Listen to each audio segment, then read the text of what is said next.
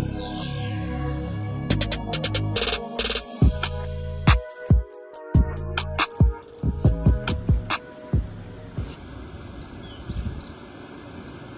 me.